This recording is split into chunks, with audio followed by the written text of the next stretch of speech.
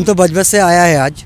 मेरा माँ तो खाना बना दिया हम तो कितनी जाना दूर से आए हैं? बजबस से। अच्छा। मेरा घर बजबज है? हाँ खाना लेके आया मोदी जी के लिए। अच्छा आज रात भर यहीं रहेंगे? आज रात भर यहाँ ही रहेंगे हम। इंतज़ार करेंगे सुबह तक? इंतज़ार करेंगे सुबह तक। अच्छा। मोदी जी के लिए आया है मेरा माँ खाना बना दिया। आप देख लीजिए अच्छा। के एक देखिए। ये देख। देखिए तीस किलोमीटर दूर है हम आया देखिए आप। देखिए। मोदी जी के लिए रैली में पहले ही आ चुके हैं ये। अभी कितना बजे रहा है? टाइम कितना हो रोटी। है? अभी सात बज रहे हैं रात के। आलू भजा बना दिया मेरा माँ। और ये अभी से आ चुके हैं यहाँ पे तो देखिए किस तरीके से हाँ। नहीं और इसमें और कुछ नहीं है। ठीक है, ठीक है। बना दिया हम आया है। दाल में इस समय मोदी मोदी। हम तो कंपनी को बता दिया हम तो दो दिन नहीं आएगा कंपनी में। हम जा रहा है मोदी। मोदी के लिए। कंपनी भी हाँ और नौकरी चला जाएगा तो अच्छा है ठीक है लेकिन आया है हम भी गेट में। मोदी जी बंगाल में लाएँगे। हाँ बंगाल में लाएँगे ज़रूर लाएँगे।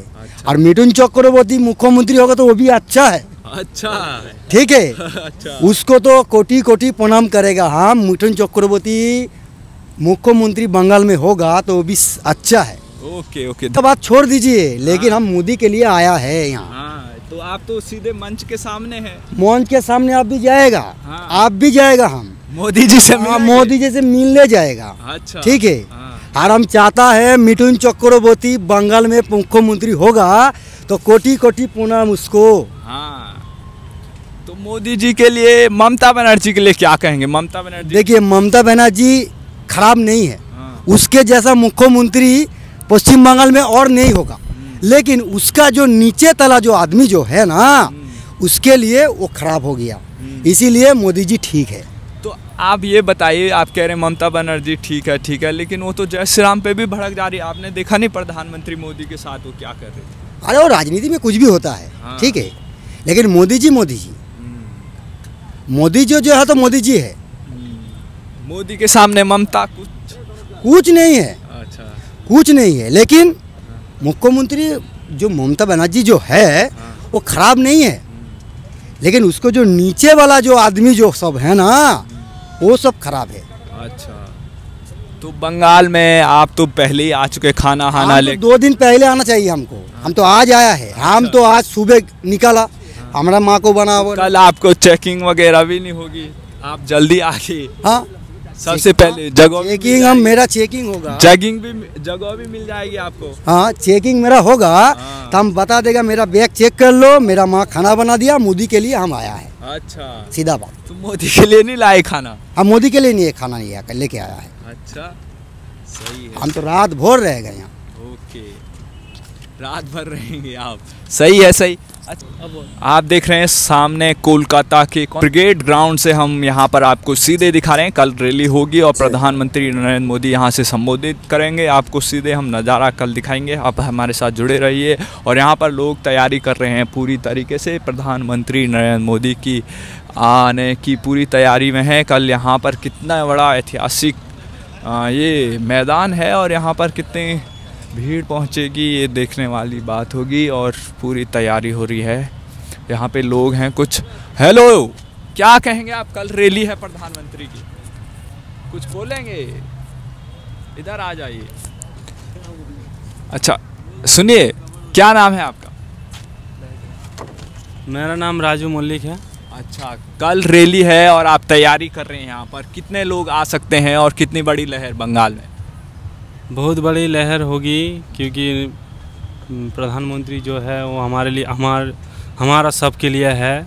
तो कल शायद बहुत लोग होगा और मैं यकीन से कह सकता हूँ कि बंगाल की ज़्यादा से ज़्यादा लोग कल यहाँ भीड़ जमाएँगे। अच्छा तो ममता बनर्जी क्या लग रहा है? जाएगी इस बार?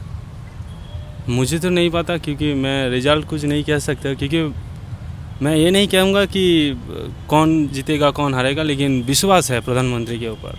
अच्छा प्रधानमंत्री के पास पूरा विश्वास है कि सरकार बनेगी बीजेपी? प्रधानमंत्री को विश्वास है? हाँ विश्वास थोड़ी विश्वास तो होगा ही, इसीलिए तो वो लड़ रहा है ऐसा कर रहा है काम कर रहा है लड़ रहा है इसलिए तो कर रहा है। तो बंगाल से सारे लोग जितने ममता बनर्जी के साथ थे वो सारे उसके एमएलए तो भाग भाग के बीजेपी में शामिल हो रहे हैं। क्या वजह? क्यों डर है इतना? ना there not there any more there is include political party leaders so I don't know about that anything but मैं ये कह सकता हूँ कि नरेंद्र मोदी जो कर रहा है अच्छा कर रहा है और कल को जो लहर होगा या में भीड़ होगा वो अच्छा होगा अच्छा होगा देश के सौरभ गांगुली और मिथुन चक्रवर्ती बंगाल के बहुत बड़े स्टार हैं शेर हैं टाइगर हैं क्या लग रहा है उनके की स्टार है और सारा इंडिया की स्टार है। है, मिथुन वो तो सबको, लेकिन- लेकिन सौरभ गांगुली भी उससे थोड़ी ज़्यादा स्टार है। नहीं अब वो है सब देश वाले पता है देश को कि कौन कितना बड़ा स्टार है लेकिन बंगाल में बंगाल के लोग खास तौर पे जब चुनाव है तो यहाँ के लोग उनको ज़्यादा वो देखेंगे कि वो कहाँ जा रहे हैं किसको किस रैली में जा रहे हैं। तो अगर वो यहाँ आएँगे कल तो उसका कितना बड़ा प्रभाव पड़ेगा? बहुत बड़ी प्रभाव पड़ेगी। और सबको अच्छा लगेगा। अच्छा। और मैं बहुत खुश हूँ इस सेशन के लिए। मुझे बहुत बड़ा अच्छा लग रहा है बहुत अच्छा लग रहा है बस।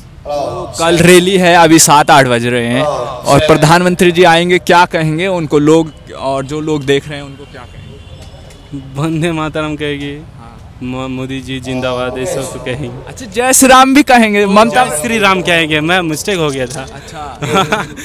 क्योंकि मैं जो कह रहा हूँ मिस्टेक तो होती रहती है। बात छोड़िए जय श्री राम ज़रूर कहेंगे। तो ममता बनर्जी को गुस्सा आ रहा है इससे। तो हम क्या कर सकते हैं? गुस्सा तो सबको आती है कंट्रोल करना चाहिए। तो जय श्री राम पे थोड़ी आना चाहिए गुस्सा। नहीं जय श्री राम पे थोड़ी आना नहीं चाहिए आना नहीं चाहिए। तभी देखो हम सब हम सबके लिए तो चले ना बिरो में अपोजिट पार्टी नहीं रहेगी तो। हाँ वो बात है लेकिन अपोजिट कैसा अपोजिट मतलब दुर्गा मन दुर्गा पूजा होता है बहुत सारे उस पर भी रोक लगाने की कोशिश हो जाती है। और ये चीज़ें हैं, जय श्री राम है, इसमें कोई वो राजनीति होनी नहीं चाहिए वैसे। लेकिन होता है। इसकी वजह से कितने लोग नाराज़ होंगे बंगाल में? देखो, राजनीति एक अलग चीज़ होती है। और देर इज़ मैंने not include the social culture culture सबके अलग अलग होते हैं। हम बंगाल हैं, बंगाल कल्चर पसंद करते हैं। जो बिहारी है वो Bihari culture Gujarati Gujarati culture. Culture सबके लिए समान होती है जो जिसे रेस्पेक्ट करते हैं। लेकिन अगर उस कल्चर पर वहाँ की मुख्यमंत्री उस रोक लगाए तो उसका कितना बड़ा प्रभाव है? हाँ वो तो अच्छा वो तो अच्छा नहीं है एकदम प्रभाव लगाना अच्छा नहीं नहीं है।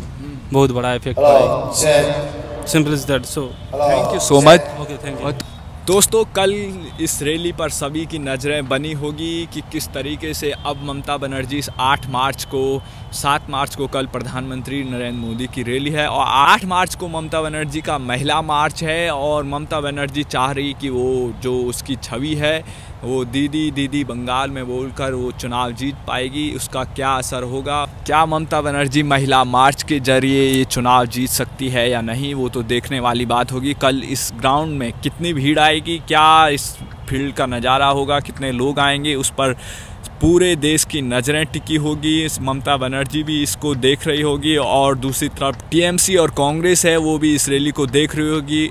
कि क्या इस पर, इस रैली से कितना प्रभाव पड़ेगा इस कलकत्ता में? कलकत्ता की जो पूरा बंगाल में इसमें कितना असर पड़ेगा? अगर एक बात आपको बता दें, अगर इस रैली में, अगर प्रधानमंत्री नरेंद्र मोदी के साथ इस ग्राउंड में सौरभ गांगुली और मिथुन चक्रवर्ती के साथ जो टीएमसी के जितने भी विधायक और बड़े नेता बीजेपी में शामिल हुए। अगर वो एक साथ यहाँ इस मंच में पहुँचे तो समझ लो बंगाल में परिवर्तन निश्चित है। और जो बीजेपी दो 200 प्लस का आंकड़ा बता रही है, उस तक बीजेपी आराम से पहुँच जाएगी। और सट्टा बाज़ार में आपने देखा होगा किस तरीके से बीजेपी यहाँ पर चुनाव जीतती हुई नज़र आ रही है। तो एक बात तो तय है कि ममता बनर्जी को इस बार सरकार बनाने में बहुत दिक्कत आने वाली है और बीजेपी सरकार बनाने की पूरी कोशिश करेगी। इसमें कोई वो नहीं है क्योंकि अमित शाह की जो रणनीति है बंगाल में, उन्होंने कहा है कि 200 के पार इस बार होगा और 200 पार के जो आंकड़ा और जो नारा उनका है, उसका कितना असर पड़ेगा? क्या बीजेपी 200 पार ले आ पाएगी? तो जो सट्टा बाज़ार में जो आंकड़े आए हैं, उसके बाद तो बीजेपी का यहाँ पर चुनाव जीतना बहुत ही आसान लग रहा है, लेकिन अगर ममता बनर्जी यहाँ पर सौ के ऊपर सीटें लेके आएगी तो ममता बीजेपी टीएमसी को तोड़ने में पूरी तरीके से कामयाब रहेगी और बीजेपी यहाँ पर आसानी से सरकार बना लेगी। तो आप देख सकते हैं, ये ग्राउंड है और हम यहाँ पर पहुँचे हुए हैं देखने के लिए कि यहाँ की व्यवस्था कैसी है और प्रधानमंत्री नरेंद्र मोदी जब कल आएँगे तो क्या क्या किस तरीके से ममता बनर्जी पर अटैक करेंगे, कितना वो ममता बनर्जी ने यहाँ पर जो भ्रष्टाचार और यहाँ पर जो सुविधाएँ हैं और आप पीछे देख सकते हैं, यहाँ पर एक ग्राउंड है और आपको बता दें धीरे धीरे हम यहाँ पर आपको दिखा रहे हैं ये सीधे ग्राउंड है ग्राउंड से लाइव दिखा रहे हैं आपको हम बंगाल से। और कल आप सभी हमारे चैनल को ज़रूर देखिएगा कि हम आपको यहाँ से ग्राउंड रिपोर्ट दिखाएँगे। और यहाँ पर जो लोग आएँगे, उनकी बातें हम आपको बताएँगे कि क्या वो लोग सोच रहे हैं। वो किस वजह से परिवर्तन करना चाहते हैं। तो लोग देखते हैं क्या क्या कहेंगे इस रैली के लिए। और यहाँ सीधे हम अभी ग्राउंड के पास हैं। और आपको बता दें, ममता बनर्जी की मुश्किलें इस समय बहुत बड़ी हुई हैं, क्योंकि ममता बनर्जी के जितने भी बड़े बड़े एम हैं, वो बीजेपी में शामिल हो रहे हैं, कोई दिल्ली में जाके शामिल हो रहा है, कोई पश्चिम बंगाल में शामिल हो रहा है। तो पश्चिम बंगाल में जो हालात हैं, उसको देखते हुए क्या बीजेपी इस बार तो जो ग्राउंड में लोग हैं ममता बनर्जी की विदाई का मन बना रहे हैं। लेकिन अब ये अंतिम नतीजे जब तक हाँ, वोटिंग होगी रैली होगी इसमें कितना बदलता है माहौल वो हम आपको देखेंगे बताएँगे। और यहाँ पर आप देख सकते हैं ये ग्राउंड आपको दिखा रहे हैं।